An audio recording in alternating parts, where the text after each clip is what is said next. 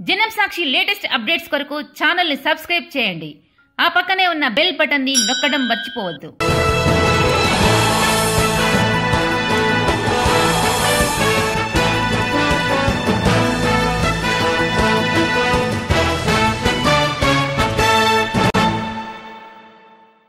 నమస్తే. మీరు చూస్తున్నారు జనం సాక్షి నేను అలేఖ్య. ముందుగా హెడ్లైన్స్. భారాలు మోపిందెవరు? కడుపులో పెట్టుకుని చూసుకుంటున్నదెవరు? పెగాసెస్ పై విచారణకు సుప్రీం కమిటీ వచ్చే వారం ఉత్తర్వులు. అసెంబ్లీ సమావేశాల నిర్వహణపై సన్నాహక సమావేశం. చదువుకుంటూ పేపర్ వేస్తే తప్పేంటి? విద్యార్థి సమాధానం కేటీఆర్ ఫిదా. దేశంలో కొత్తగా ముప్పై ఒక్క వేల కరోనా కేసులు. ప్రతి ఏటా డెబ్బై లక్షల మందిని చంపుతున్న వాయు కాలుష్యం. రేపు ఢిల్లీకి సీఎం కేసీఆర్.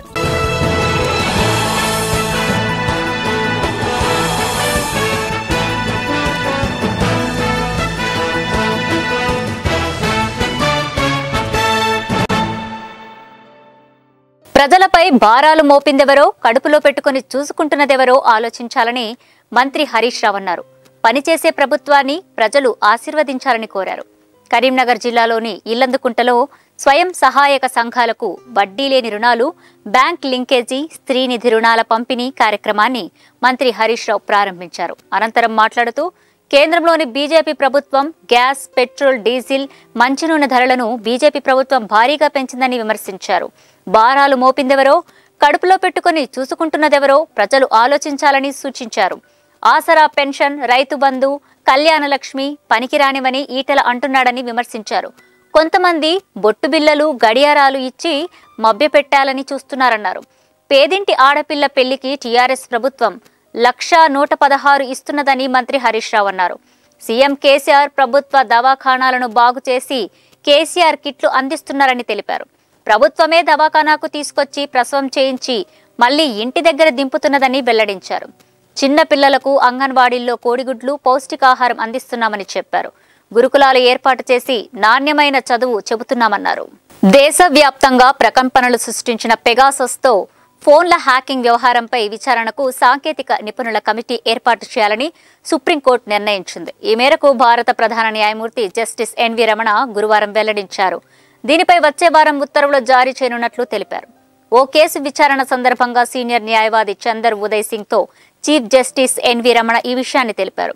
పెగాసస్ పై దర్యాప్తు కోరుతూ దాఖలైన పిటిషన్ల తరపున వాదనలు వినిపిస్తున్న న్యాయవాదుల్లో చందర్ కూడా ఒకరు. నిజానికి ఈ కమిటీ ఏర్పాటుపై ఈ వారంలో ఉత్తర్వులు జారీ చేయాలని సుప్రీంకోర్టు భావించింది. అయితే సాంకేతిక కమిటీలో సభ్యులుగా ఉండేందుకు కొందరు నిపుణులు అభ్యంతరం వ్యక్తం చేయడంతో కమిటీ ఏర్పాటు ఆలస్యమవుతోందని చీఫ్ జస్టిస్ వెల్లడించారు.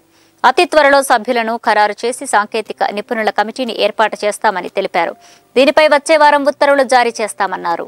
శుక్రవారం నుంచి ప్రారంభమయ్యే రాష్ట్ర శాసనసభ శాసన మండలి సమావేశాల నేపథ్యంలో గురువారం శాసనసభ స్పీకర్ పోచారం శ్రీనివాసరెడ్డి మండలి చైర్మన్ ప్రోటెం వెన్నవరం భూపాల్ రెడ్డి శాసనసభ వ్యవహారాల శాఖ మంత్రి వేముల ప్రశాంత్ రెడ్డి నేతృత్వంలో అసెంబ్లీ కమిటీ హాల్లో సన్నాహక సమావేశం నిర్వహించారు. అసెంబ్లీ ప్రాంగణంలో తీసుకోవాల్సిన భద్రతా చర్యలు సీఎం కేసీఆర్ మంత్రులు సభ్యులు వెళ్ళేందుకు వేర్వేరు ప్రవేశ ద్వారాల్లో తీసుకోవాల్సిన జాగ్రత్తలపై పోలీసు ఉన్నతాధికారులకు పలువురు సూచనలు చేశారు. మరోవైపు ఈ సమావేశాల్లో ప్రవేశపెట్టే బిల్లులు వాటిపై చర్చ సభ్యులు అడిగే ప్రశ్నలపై ప్రభుత్వ పక్షాన మంత్రులు సమాధానాలిస్తారు. అయితే ఈ క్రమంలో ప్రతి సభ్యుడికి ఇటు అసెంబ్లీ శాసన మండలిలో అవకాశం ఇస్తామని సభ్యులు తమ విలువైన సమయాన్ని సద్వినియోగం చేసుకోవాలని స్పీకర్ పోచారం పేర్కొన్నారు. మరోవైపు పోలీస్ ఉన్నతాధికారులకు పలు సూచనలు చేశారు. ఈ సన్నాహక సమావేశంలో అసెంబ్లీ సెక్రటరీ నరసింహాచార్యులు కూడా పాల్గొన్నారు. ఓవైపు చదువుకుంటూ మరోవైపు ఇంటింటికి వారపత్రికలు వేస్తున్న విద్యార్థి చెప్పిన సమాధానం సామాజిక మాధ్యమాల్లో వైరల్గా మారింది. జగిత్యాలకు చెందిన జయప్రకాష్ అనే విద్యార్థి స్థానిక ప్రభుత్వ పాఠశాలలో చదువుకుంటూ రోజు ఉదయం ఇంటింటికి వార్తాపత్రికలు వేస్తూ ఉంటాడు. ఆ సమయంలో ఓ వ్యక్తి కుర్రాడి వద్దకు వెళ్ళి చదువుకునే వయసులో పేపర్లు ఎందుకు వేస్తున్నావని ప్రశ్నించగానే ఏం పేపర్ వేయొద్దా అని సమాధానమిచ్చాడు. చదువుకునే వయసులో పని చేస్తున్నావు కదా అని సదరు వ్యక్తి అనగానే చదువుకుంటున్నా పని చేసుకుంటున్నా అందులో తప్పేముంది అంటూ తిరిగి ప్రశ్నించాడు. ఇప్పుడు కష్టపడితే పెద్దయ్యాక ఏం చేయాలన్నా ఈజీగానే ఉంటుందంటూ స్ఫూర్తిదాయక సమాధానమిచ్చాడు. ఈ మొత్తం సంభాషణ వీడియో ఇప్పుడు సోషల్ మీడియాలో వైరల్గా మారింది. ఈ క్రమంలో ఆ వీడియో చూసిన మంత్రి కేటీఆర్ కుర్రాడి సమాధానానికి ఫిదా అయ్యారు. ఈ మేరకు ట్విట్టర్లో ఆ వీడియోను పోస్ట్ చేసి విద్యార్థి జయప్రకాష్ను అభినందించారు. జగిత్యాల పట్టణం నుంచి వచ్చిన ఈ వీడియో చాలా నచ్చింది. ఆ విద్యార్థి ఆత్మవిశ్వాసం చూసి చాలా సంతోషపడ్డా. అతడి ఆత్మవిశ్వాసం ఆలోచన విధానంలో స్పష్టత చూసి చాలా సంతోషం అనిపించింది. చదువుతున్న వయసులో పని చేయడం తప్పేంటని ఆ విద్యార్థి ప్రశ్నించాడు. అతడు భవిష్యత్తులో మంచి స్థితిలో స్థిరపడాలని కేటీఆర్ ఆకాంక్షించారు. దేశంలో కరోనా కేసులు మళ్ళీ పెరిగాయి. బుధవారం ఇరవై ఏడు వేలకు పైగా నమోదైన పాజిటివ్ కేసులు తాజాగా ముప్పై రెండు వేల చేరువలో నిలిచాయి. కొత్తగా కరోనా బారిన పడిన వారిలో పంతొమ్మిది వేల మంది ఒక కేరళలోనే ఉన్నారు. దేశవ్యాప్తంగా గత ఇరవై నాలుగు గంటల్లో ముప్పై ఒక్క వేల తొమ్మిది వందల ఇరవై మూడు కరోనా పాజిటివ్ కేసులు నమోదవగా రెండు వందల ఎనభై రెండు మంది బాధితులు మరణించారు. దీంతో మొత్తం కేసుల సంఖ్య మూడు కోట్ల ముప్పై ఐదు లక్షల అరవై మూడు వేల నాలుగు వందల ఇరవై ఒకటికి చేరగా మరణాలు నాలుగు లక్షల నలభై ఆరు వేల యాభైకి పెరిగాయి. మరో మూడు కోట్ల ఇరవై ఎనిమిది లక్షల పదిహేను వేల ఏడు వందల ముప్పై ఒక్క మంది కరోనా నుంచి కోలుకోగా మూడు లక్షల ఒక వెయ్యి ఆరు వందల నాలుగు కేసులు ఇంకా యాక్టివ్గా ఉన్నాయి. అయితే యాక్టివ్ కేసుల సంఖ్య నూట ఎనభై నాలుగు రోజులు దిగువకు చేరుకున్నాయని కేంద్ర ఆరోగ్య శాఖ వెల్లడించింది. ఇక కొత్తగా ముప్పై ఒక్క వేల తొమ్మిది వందల తొంభై మంది వైరస్ నుంచి బయటపడ్డారని తెలిపింది. కాగా దేశవ్యాప్తంగా కరోనా టీకాల పంపిణీ ముమ్మరంగా కొనసాగుతున్నది. గత ఇరవై నాలుగు గంటల్లో డెబ్బై ఒక లక్షల ముప్పై ఎనిమిది వేల రెండు వందల ఐదు మందికి వ్యాక్సినేషన్ చేశామని పేర్కొంది. దీంతో మొత్తంగా ఎనభై మూడు కోట్ల ముప్పై తొమ్మిది లక్షల తొంభై వేల నలభై తొమ్మిది వ్యాక్సిన్ డోసులను పంపిణీ చేశామని వెల్లడించింది. మానవాళికి వాయు కాలుష్యం అనేది అతిపెద్ద పర్యావరణ ముప్పుల్లో ఒకటని ప్రపంచ ఆరోగ్య సంస్థ స్పష్టం చేసింది. ఈ వాయు కాలుష్యం కారణంగా ప్రతి ఏటా డెబ్బై లక్షల మంది అకాల మరణం పొందుతున్నారని తన తాజా రిపోర్టులో వెల్లడించింది. గాలి నాణ్యతను పెంచడం పర్యావరణ మార్పుకు అడ్డుకట్ట వేయడానికి ఉపయోగపడుతుంది. అయితే అది జరగాలంటే కర్బన ఉద్గారాలను తగ్గించాల్సి ఉంటుందని డబ్ల్యూహెచ్ఓ చెప్పింది. ఏటా డెబ్బై లక్షల మందిని పొట్టన పెట్టుకుంటున్న వాయు కాలుష్యం ఎన్నో కోట్ల మంది ఆరోగ్యవంతమైన జీవితాలపై ప్రభావం చూపుతోంది. పిల్లల్లో ఈ కాలుష్యం ఊపిరితిత్తుల ఎదుగుదలను వాటి పనితీరును ప్రభావం చేసి శ్వాసకోశ సంబంధిత ఇన్ఫెక్షన్లను పెంచుతోంది. అని ఆరోగ్య సంస్థ తన తాజా నివేదికలో తేల్చి చెప్పింది.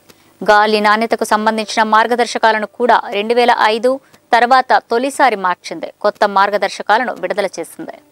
ఈ నెల ఇరవై నాలుగవ తేదీన ముఖ్యమంత్రి కేసీఆర్ ఢిల్లీ పర్యటనకు వెళ్ళనున్నారు. రేపు ఉదయం ప్రారంభమయ్యే అసెంబ్లీ వర్షాకాల సమావేశాలలో సీఎం కేసీఆర్ పాల్గొననున్నారు. అనంతరం జరిగే బీఏసీ సమావేశంలో కేసీఆర్ పాల్గొని అసెంబ్లీ సమావేశాల ఎజెండాను ఖరారు చేయనున్నారు. ఆ తర్వాత ఢిల్లీకి ముఖ్యమంత్రి పయనం కానున్నారు. ఈ నెల ఇరవై ఐదున కేంద్ర జలశక్తి శాఖ మంత్రి గజేంద్ర సింగ్ షెకావత్తో కేసీఆర్ సమావేశం కానున్నారు.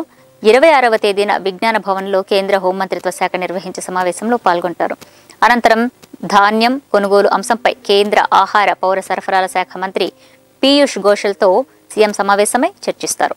ఇరవై ఆరున సాయంత్రం కేసీఆర్ హైదరాబాద్కు తిరుగు ప్రయాణం కానున్నారు. ఇది ఈ బులెటిన్ విశేషాలు. చూస్తూనే ఉండండి. జనం సాక్షి.